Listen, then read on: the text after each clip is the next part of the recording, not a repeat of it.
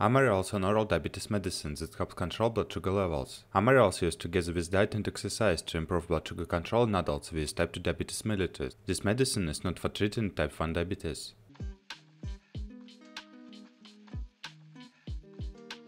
How to use Take Amaryl exactly as prescribed by a doctor. Follow directions on a prescription label and read all medication guides or instruction sheets. Your doctor may occasionally change your dose. Amaryl is usually taken once a day with breakfast or the first main meal of the day.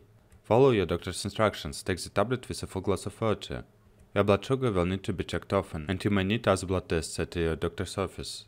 Usual other dose for diabetes type 2. Initial dose 1 to 2 mg orally once a day. Maintenance dose. Increased in 1 or 2 mg increments no more frequently than every 1 to 2 weeks based on glycemic response. Maximum dose 8 mg per day.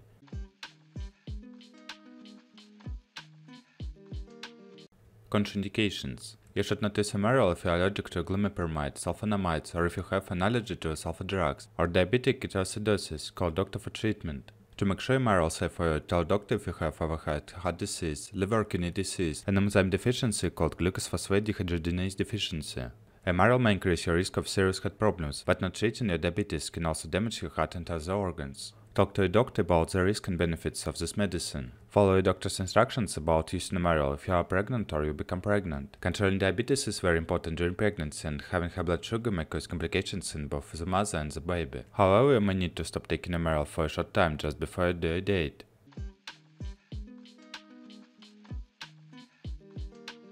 Precautions Avoid drinking alcohol, it lowers blood sugar and may interfere with your diabetes treatment. Avoid exposure to sunlight or tanning beds. Glimepiride can make you sunburn more easily. Wear protective clothing and use sunscreen when you are outdoors. You shouldn't use Amaryl if you have diabetic ketoacidosis. Call doctor for treatment with insulin.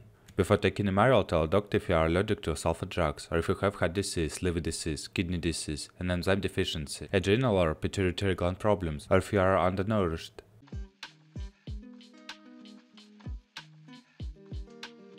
Amaryl side effects Get emergency medical help if you have signs of an allergic reaction to a Amaryl, hives, difficult breathing, swelling in the face or throat, or a severe skin reaction, fever, sore throat, burning eyes, skin pain, red or purple skin rash with blistering and peeling.